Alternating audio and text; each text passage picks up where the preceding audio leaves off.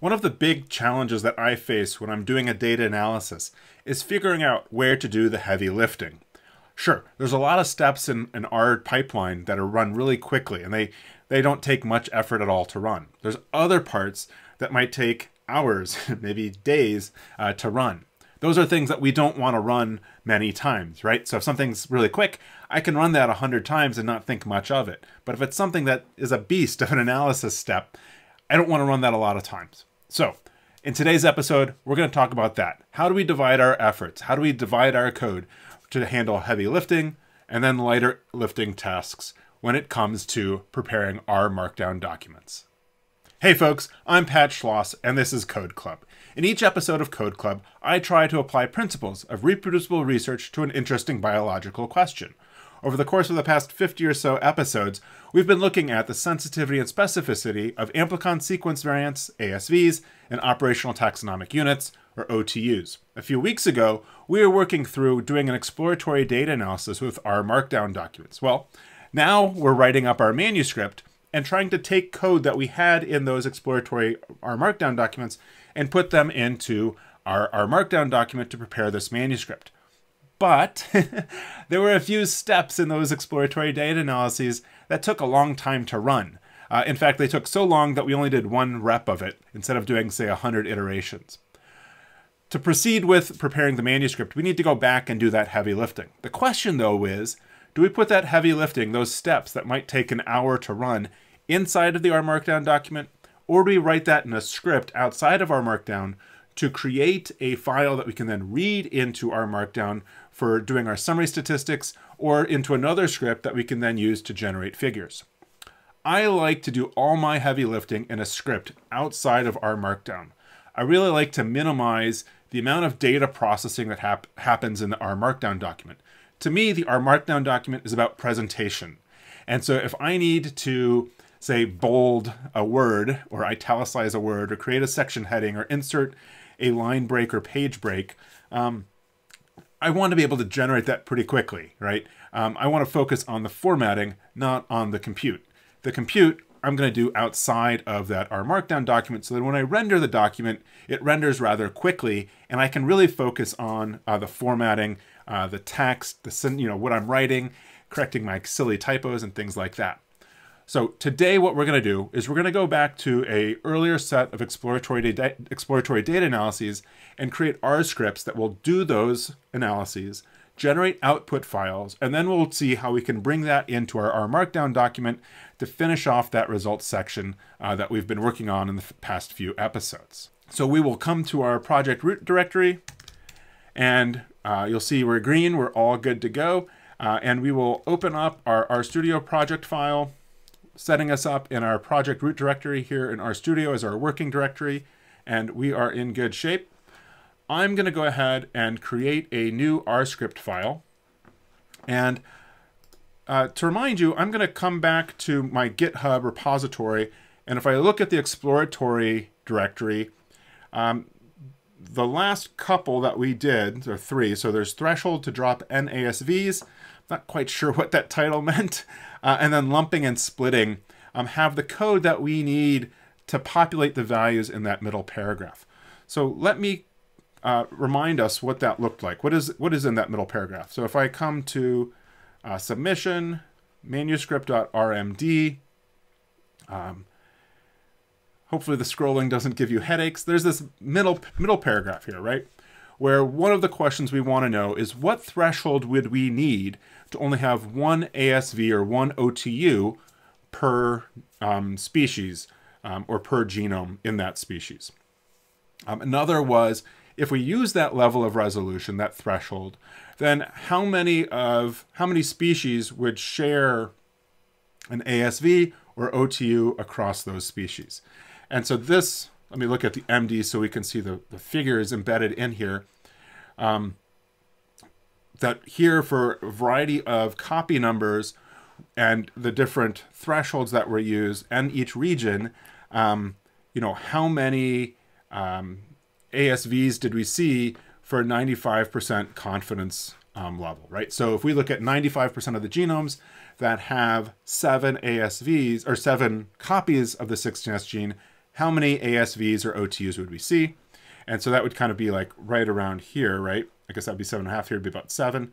And so we can see that um, the V19 region, to get down here, you would need something on the order of about 0.01, 0.02, 0.03, right? Um, and actually in this analysis, we did this where we looked at a threshold, we looked at four copies, um, and we then looked at the number of ASVs per species that we would see uh, for different thresholds of defining an OTU. Okay, so this is the information that we need to write into a script to output a big data file that we can then use to parse, to populate that paragraph, as well as to make our own figures. So we have a lot of work to do today. So I'm gonna start with this second question and come back up to the top of here, and I'm gonna shamelessly steal my own code and copy that into my um, R script and I'm going to get rid of the here and knitr package calls. I don't need those. Um, and I'll re remove the here as well. I'm writing these paths relative to the project root directory. Um, and so I don't need the here for that within an R script. Um, and I, accidentally uh, hit the save. So I'm going to go ahead and put this into code. Um, and I will call it get uh, threshold for a single OTU.R. All right. And so I can then look uh, in here if I go to code. Um, so get, uh, for some reason it put it in the project root directory rather than um, in the code directory. I must have forgotten to uh, touch that. So I'm going to go ahead and manually move that um, to my code directory. And so now if I look Ah, where'd you go? Um, code and let's see, get threshold for single OTUR. We're in good shape, so we'll save that. So you'll recall that previously we pulled one genome from each species. I want to do that again, but I want to do it 100 times so I can look at the variation that's caused by picking um, uh, across you know many iterations of doing that because it's a random process. We've got our set seed there as well. Um, I'm going to stop calling these EASVs and call them ASVs for now. Um, and I'm also going to move this mutate line up um, to mutate the threshold line. So if it says threshold ESV, I want that to be zero. Um, and if I run these lines, ah, I need to run everything uh, it's complaining that, yes, that should be EASV, not, okay. Run that. And so we've got, takes us a second to read in. So we can look at metadata and then as, and so that's our genome ID and species. And then we can also look at ASV and this gives us um, the ASV name, the genome, the count, the region, and the threshold that was used to define um, that ASV or OTU. This other stuff I'm ultimately going to bake into a function. And what I can do is I'm going to uh, work up to building a function. So I will take, um, let's see, I'm going to take the metadata and we will group that um, by species and then we'll use slice sample to get one genome per species. And so if we look at this, we see we get 4,774 um, different species um, as well as genome IDs. And then I can then pipe that into an inner join. I've got an extra sign there. Um, and so then I can replace that metadata with a period. And this then will um, combine it all together. So we get um, genome ID, species, the EASV, and there's multiple EASVs, ASVs per genome, uh, but it's also partitioned out by region and the threshold that we use to define the ASV or the OTU. Good. So like, for example, here we've got two ASVs um, from this uh, Catharanthus roseus uh, species and genome. Okay, very good. So if we then return back to what we had done over here, um, we again had that metadata ESV. We grouped by all these things, grouped by region threshold genome ID. uh, to summarize the number of RNs, the um, number of ASVs, we dropped that, um, and then we got, we grouped by the region threshold and the number of copies, and then got the quantile. And the quantile, oh, I put this in the wrong space, uh, the quantile, uh, and for now I'm going to remove these comments, be sure to add my pipes. Uh, the quantile told us um, the 95th percentile, at the 95th percentile, how many ASVs or OTUs were there. And again, uh, this takes a couple seconds to run. And so again, this is kind of the heavy lifting, right? If I had to do this 100 times inside of my R Markdown document, that'd be really painful. And so what we can see is that we've got a region, we've got threshold, we've got the number of RRNs, and then the upper bound. Um, and the upper bound um, is the number of ASVs that we saw for a 95th percentile. Okay. Um,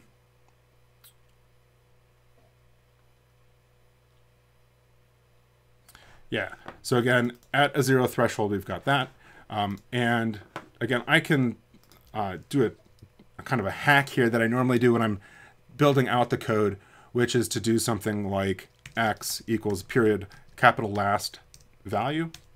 And so last value is the last thing that was outputted. So again, I look at x, I get that.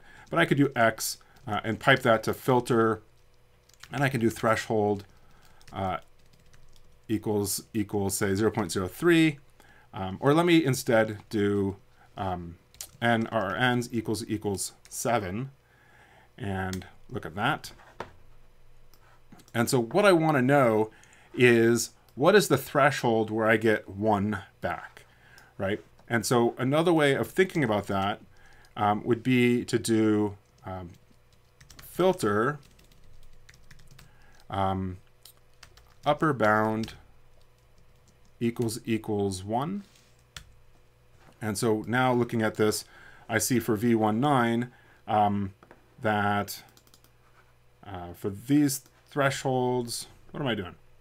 Yeah, so for X, I've got this. And if I look at upper bound of 1, um, this then shows me um, how many I have, right? And so here's a case where, um,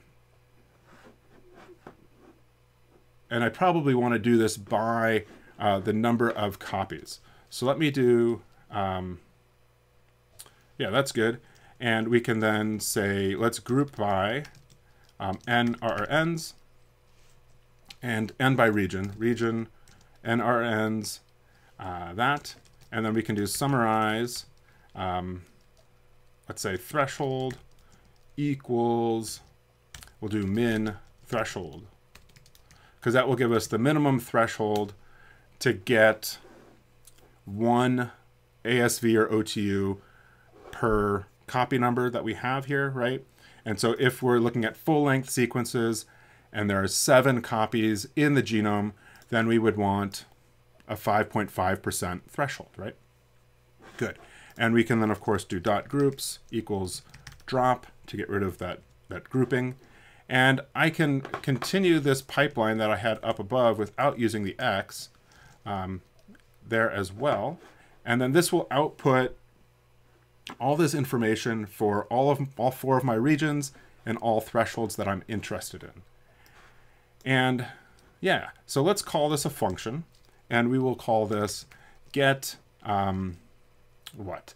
Uh, threshold for a single OTU. Yep. And function. And what I'll do is I'm going to create an argument for called prob, and the default will be 0.95. Um, and I can then change this 0.95 to be prob. So if I decide later that I'd rather do, say, 90% or 80%, I can change it there. Um, I think in the text of the manuscript I said 90 percentile, but I think 95th percentile is probably a bit more robust. So we'll save that. And what we could do, of course, is we could then say map DFR. And let's test it out with three reps. And we could then do uh, tilde get threshold for single OTU. And we'll output that. And this we will then say um, thresholds for single OTU and pipe that out. Um, so let's give this a run. I think each time we run get threshold for single OTU um, takes maybe half a minute or so. I'm going to test it by doing system.time on that function. And let's see how long it takes to run. Ah, it's complaining. Could not find function get threshold. Oh, maybe I... Did I forget to do that? Get threshold for a single OTU? Yeah, let's give this another shot. All right, so that took about 30 seconds or so to go. That was actually much faster than I thought. Um, if I look at thresholds for a single OTU, um, let me do filter um, n r end equals equals 7. Um, give that a shot. And so what we see is that I've got v19 in here three times. Um, so I could say do an range by region. So it kind of sorts it by the region column there. And I see that um, I've got pretty similar thresholds. Uh, the V4 bops around a little bit. And so again, that's the value of, you know, eventually doing this 100 times. Um, and so what we can do is um, we can do that and we can then, um, I'm going to, uh, for now, I'm going to take off that system time and pipe this and I will do a group by, um, what I say, region and n are ends. And I'll do a summarize and I can say um, threshold equals mean um, threshold and I will I'm gonna do a median. And I'll do IQR um, threshold let's just do IQR um, and that'll be the IQR on the interquartile range on the threshold. And again if we run this it'll take like half a minute and we'll see that we get the right output and then we can scale up to say doing it 100 times okay so that went quick um, of course, I forgot the dot groups here to get rid of that. Uh, but let's look at thresholds single OTU. We see the IQR is very small. Again, it is for only um, three iterations, so it's it's going to be pretty small. Um, so something else that I would like to have in here is the number of genomes. So perhaps um, let's say threshold, min threshold. Um, I'll also do um, n genomes, and that will be the n function. And also here then, uh, where I summarize the output, maybe I could also say uh, n, and I'll, I'll say median and genomes. Okay, so good. Um, so if this takes 30 seconds to run, um, 30, so if it's like 10 seconds per iteration, and I'm going to do 100 iterations, it's 1,000 seconds divided by uh, 60 seconds per minute. It's going to take about 16 minutes to run. Um, let's see if we can't borrow some of our skills from um, from the, the uh, future package furrr uh, to speed up this map DFR step. Um, but you might recall from the episode where I talked about building those ROC curves that RStudio does not like the future or furrr package.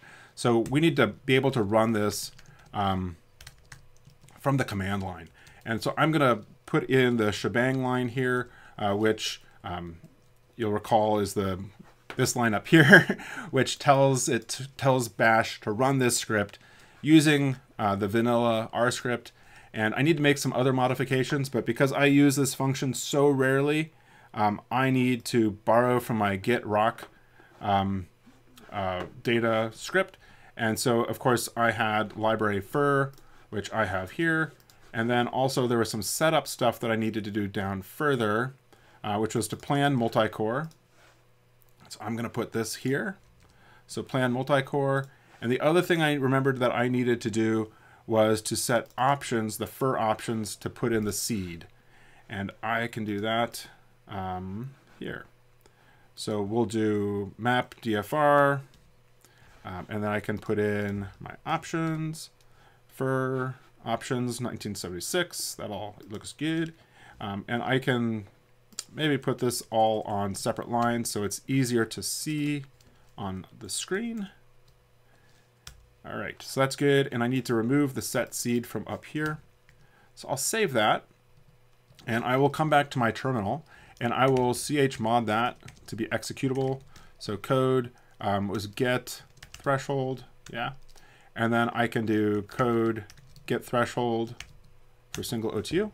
And let's see how long this takes. Um, hopefully it's quick. All right, so that went, but I realized I didn't give it any output. um, so let's see. Um, so I'm actually going to get rid of this thresholds for single OTU, and I can output it to that file, right? Um, so maybe I'll bump this over a little bit so it's easier to see, and I can do write TSV, and I'll do data processed, um, and I can call this um, thresholds for single otu.tsv. Yeah, so let's give this another go, and hopefully it'll go quickly here. So that took about 30 seconds to run, um, and if I look at ls data processed, um, thresholds, it's there. Uh, and let me do a nano on that actually. And so we've got our regions, our number of copies, the threshold, the IQR, and the number of genomes that are there. Um, this does not look right.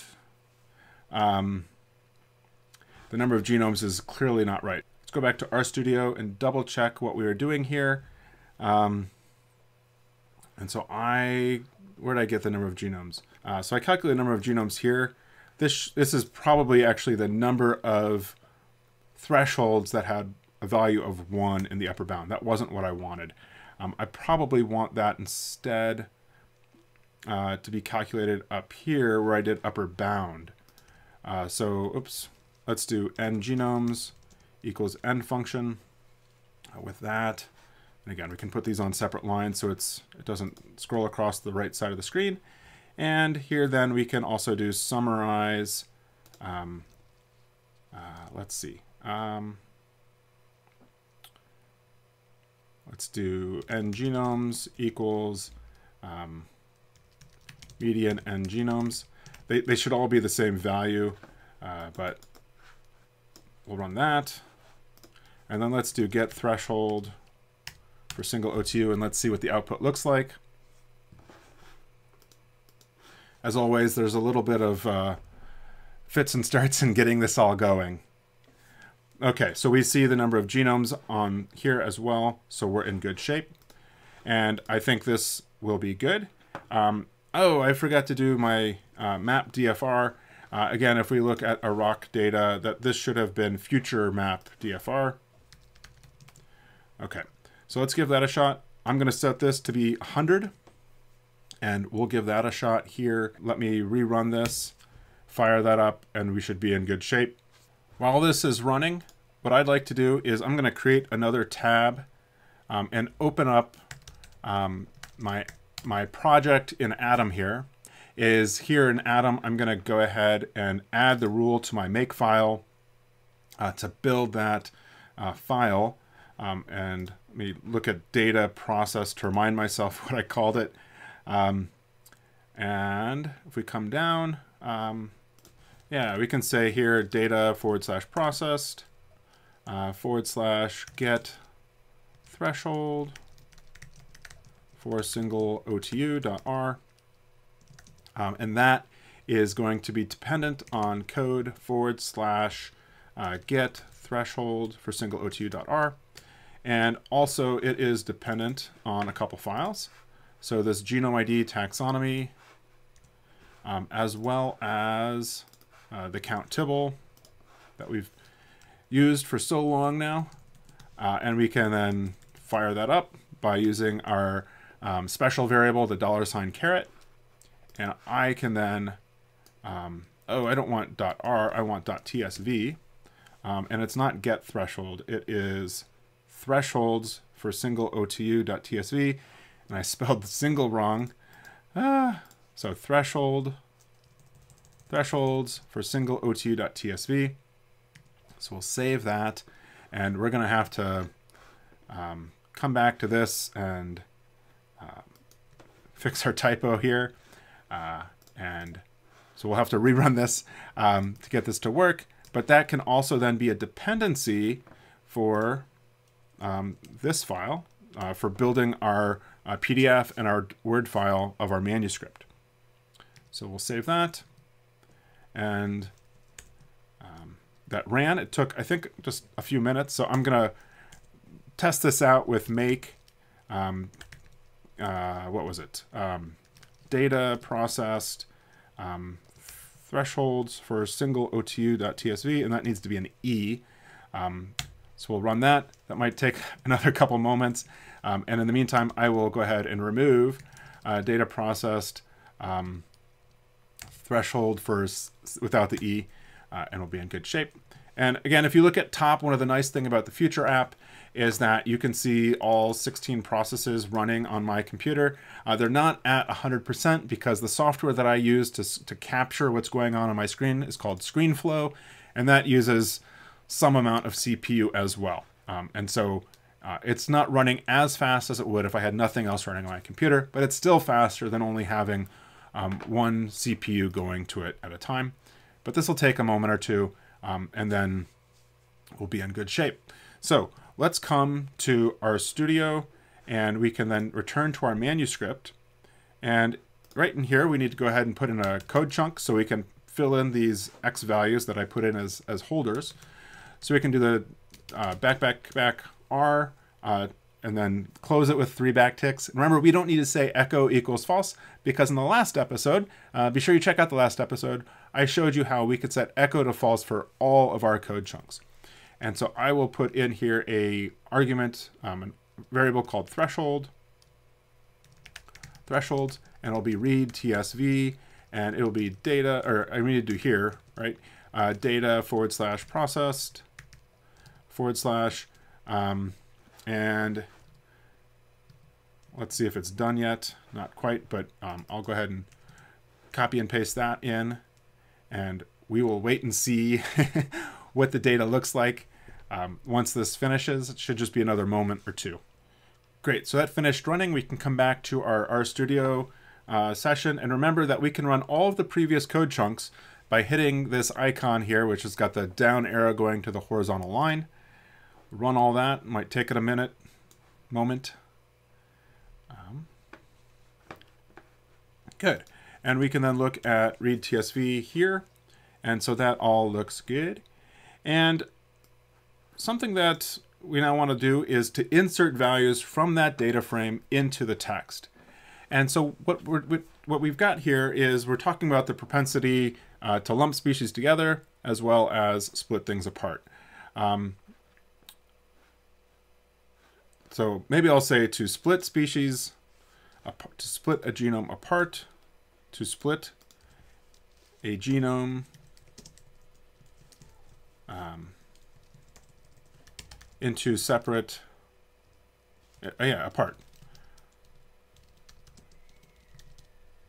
Or to lump species together, okay? Um, I identify the threshold where 95% of bacterial species would be represented by a single OTU.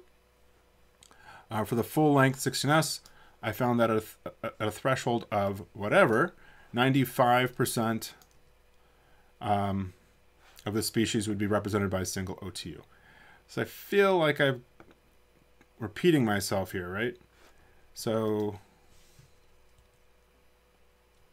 let's get rid of that because it was kind of redundant.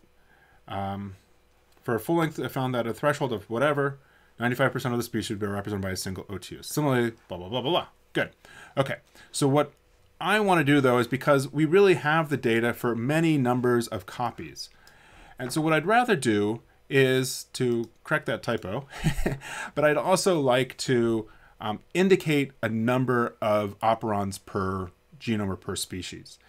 Um, maybe I'll say for full-length 16S sequences, um, I found that um, of the species with, let's say, seven copies of the RRN operon would be represented by a single OTU. So we can constrain it And you know what? Maybe we'll use that data in a figure, and so then we can then point them to a figure. But I'm not worrying about figures right now. Um, I'm worried about getting these values in, right? So if we look at thresholds, um, we can then, let's filter that uh, to say um, uh, n rn equals equals 7. And now if I look at thresholds, I get these uh, four values for the four regions, and I'm interested in that threshold value. You can see the IQRs were very tight, um, not much difference there. And so I can say threshold uh, V19 is thresholds, and I'll do filter uh, region equals equals uh, V19, and I will then pull threshold, and I will then multiply that by 100 to get it as a percentage. We talked about that in the last episode. And so that is 5.5% as a threshold. And we can copy and paste to do V4, 3, 4, 4, 5, V4, 3, 4, 4, 5. And let's fill all those in. And again, um, I created a special function to format those in the last episode um, which is down below here, uh, or I called it down below, which was uh, format PCT uh, this. Okay, and so let's come up here and insert those values.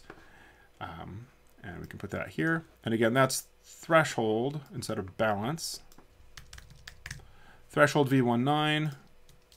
Um, let me get the whole inline code chunk.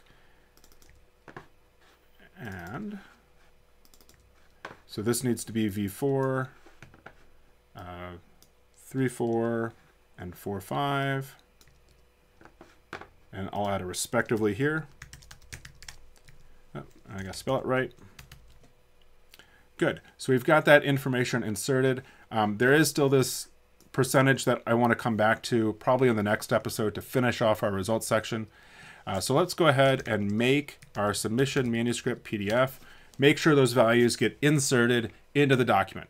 But what you'll notice, again, going back to that issue of heavy lifting, is that that heavy lifting that took a couple minutes to run to generate my thresholds table, um, uh, you would be slowing this down even more.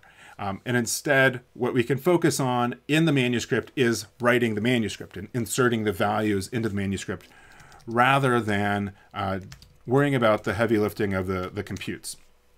So we'll open this up. Let me make this a bit bigger so you can see it more easily. And we'll come down to that. Ah, there's some output here that I need to get rid of. Um, but you can see that I've got my two and a half, four, and three and a half percent. Very good. And I need to now silence uh, these column specifications. And we can do that uh, pretty easily. Again, if we come back up here, um, and I can get a sense of what the specifications were because it outputs it to the screen here. And I can add, oh, that doesn't need to be a period, it needs to be a comma. Call types equals calls. And I will say, um, really it's region that needs to be call character. Everything else could be call double. So I will say region equals call character. And we then need dot default equals call double. And do I have all my parentheses? No, one more there. And that should get rid of it for me. And again, because I have a make file, I can just make stuff, right? And it's, it's very easy to re-render it for me. Um, and then I can look at the output here in the PDF once this is completed. And if we scroll back down, I think we were there already before I moved it we now see that that is gone, right? That code chunk where it told us the column specifications is gone.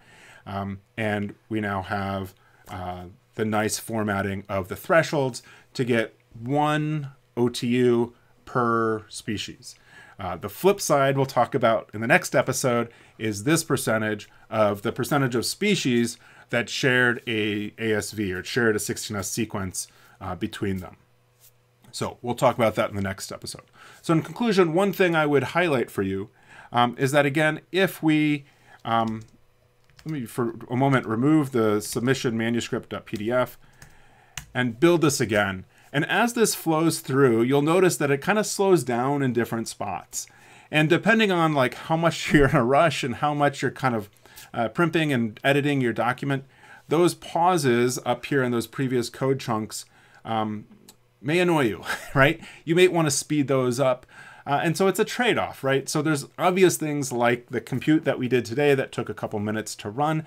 You don't want to sit and wait for that to run as you're worried about kind of removing, you know, outputting code chunks and things like what we just did. Um, whether you're willing to wait five seconds for it to get through a step, eh, that's up to you ultimately. And so there is a trade off between how much compute you do within the R Markdown document versus putting that into a script that is outside of the document. One of the other nice things about putting it in a script outside of the document is that now I've got that file and I can use that in another R script to build a figure to show the data. And so again, that's the value also of doing those big computes outside of the R Markdown is that the data become available for other applications. All right, so um, a lot of review today, but I think it's useful to see that review in a different context with a different application as we saw today. In the next episode, we'll come back and we'll talk a little bit more about redoing those computes for lumping and splitting. And because that's going to be heavy lifting, we'll also put that into a separate R script. Well, thanks again for spending some time with me to watch this project unfold. We're getting to the end. Um, trust me on that.